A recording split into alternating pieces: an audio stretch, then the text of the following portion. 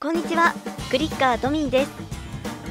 2017年から2018年は雪が多く降ったこともあり東京などでもスタッドレスタイヤを装着している車を数多く見かけました。スタッドレスタイヤというのはスタッドつまりスパイクをレスしたタイヤのことでスパイクがなくても雪道やアイスバーンを走れるタイヤのことを指します。スタッドレスタイヤはトレッドに刻まれたサイプと呼ばれる小さな溝が重要とよく言われますが実はそれだけではなく様々な性能が絡み合って高い雪道性能や氷雪性能を発揮しています。そのことを確かめるための試みが横浜ゴムが所有する北海道のテストコース TTCH で行われました。まず知ってもらいたいのがタイヤのコンパウンドも非常に重要だということです。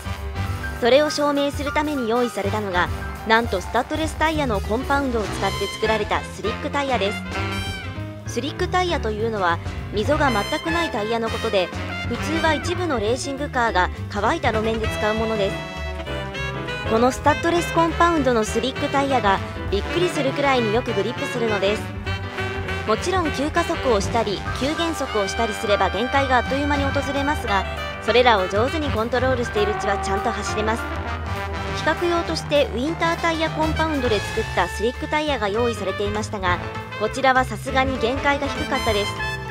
定常円を描いて走行しているとスタッドレスコンパウンドは時速 25km 程度まで速度を上げられますがウィンタータイヤコンパウンドは時速 20km に達することはありませんでした。実は溝がない分路面との接触面積が増えグリップが稼げているのです。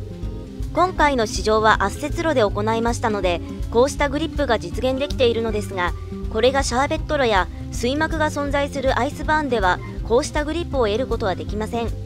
タイヤと路面との間に水膜がある場合はその水膜を除去するためのサイプやグルーブが必要なのです。